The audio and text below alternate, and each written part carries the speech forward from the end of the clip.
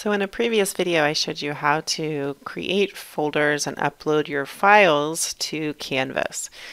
But this isn't where I want to give my students access to the files in my course. Instead, I want to create a home page that has links to those files. Just a nicer looking list where students can more quickly access the files that I want them to access in my course.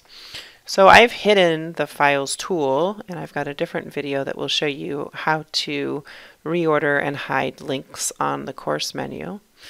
Um, but I'm going to create a home page that has links to those files instead. So I'm going to go to the Pages tool and I'm going to add a new page. Click that Add One or the blue Add Page button. And this is going to be Home Page. And here's where there's basically three kinds of files that I want to link to on this page. And I'm just going to um, mimic the same file structure that I have over in the Files tool. So over on my Content Selector pane, if I select the Files tab, then you'll see that those three folders that I created with the files in each of them. So you can expand them and see the files that have already been uploaded into Canvas.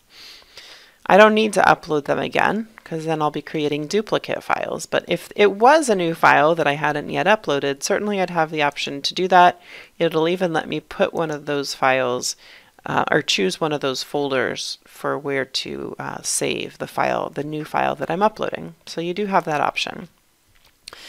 Um, but in this case, I've already got the ones that I need uploaded. It's just that I want to link them on this page. So I'm going to start by saying general course documents and I'm going to expand those files. And over here, I'll hit the schedule button, the syllabus button, or those links. And as I do, it'll actually create links to those files.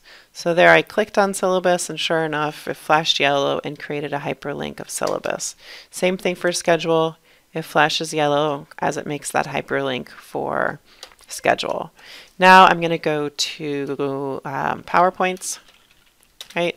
And do the same thing over here lecture week one. I'm going to hit enter between each of these. And I there's no way to do these multiple. Oops, but there you can see I clicked the wrong one. I'm going to highlight that, delete it. And then I meant to click 6, enter 7, 6, enter 7, enter 8, enter. So we're good there. And then the next thing is research assignment resources. The files I'm going to include here are that one, enter, data for assignment, so an Excel, a PDF, and a research paper docx. Okay, so those are the links now to organize it a little bit nicer, present it and format it in a nicer way. I like having lists as bulleted lists. So we could highlight those and those are going to go into our general course documents header. Same thing for PowerPoints. And these guys will get added to a bulleted list.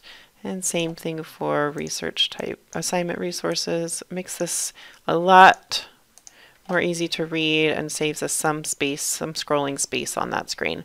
If I wanted to, I could still modify the text of these hyperlinks um, without ruining the uh, hyperlink, without messing up the, the hyperlink itself. So it might be that your files weren't named exactly like you want the hyperlink to be, and that's okay.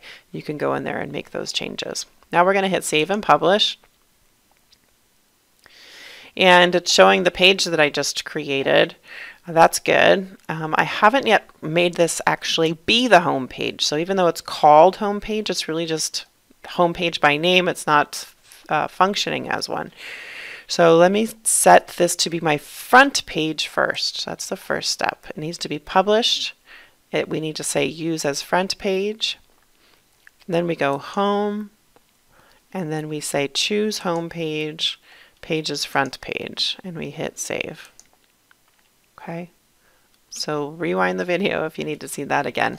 I know there were a few steps there. But the last thing to do is to check out the student view, which we can also do from home page. Okay, I'm on home. Notice I'm not seeing the files tool in my menu. Instead, I'm just seeing the list of files on the home page. And students have this little preview magnifying glass icon that expands the preview of the file. So they shouldn't have to download it in order to see it. They certainly can download it by clicking on the link. So one option here would be to add a header to this page um, you can also add an image of yourself to this page as the instructor of the course. So let's leave student view and check out how to do this to add some visual elements to the homepage of the course, which we couldn't do if we were sharing these files in the Files tool alone. So if you haven't already seen it, check out my video on the homepage starter page. It's out in the Canvas Commons and it's got an image and some um, resource information on it. You can import it from the Canvas Commons into your own course. It brings a page in that you'll find called Homepage Starter on your course. That homepage starter and all the elements in it are now pieces that you can copy and paste into that home page that you have your files linked on.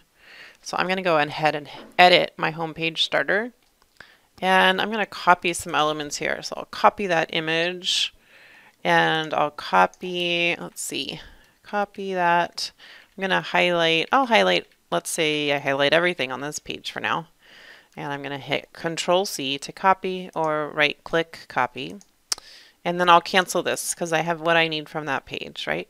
Now I'll go back to my home page that I've been working on and I'm going to edit this and I can paste that stuff in here. And then of course it'll take some reorganization, but I've got now a header image, a place to put a little welcome blurb um, for my students if I want to link to the syllabus. I had one in there. Quick links for Mesa College students maybe about my instructor so I could put information about me in here. I'll swap this out with my picture. So I'll delete that, find my picture. So I go over to images and look for the picture that I've uploaded already. Or of course upload, upload a new image if you haven't already done that. Resize that. And now We've got all sorts of stuff, all sorts of good stuff, and maybe I will reorder this. So I'll put that stuff, and then maybe about my about your instructor goes at the bottom. So, of course, you get to decide how all of this looks in your course with your content. Um, but I want you to see how the pages homepage does allow you to make a more visually appealing um, page for your students. So if we go home now, we can see that not only do we have our files on that homepage, but it also lets us add context, um, images, and text around those files as well. So that might be a benefit to using a page over the Files tool, which would really just be folders and subfolders of files. A third option for sharing files with students is using the Modules tool. And modules may be a better option if you have more files to share with students or if you're also incorporating pages and activities with the Canvas files. So check out the video on building modules in Canvas if you haven't already seen that. Thanks for watching.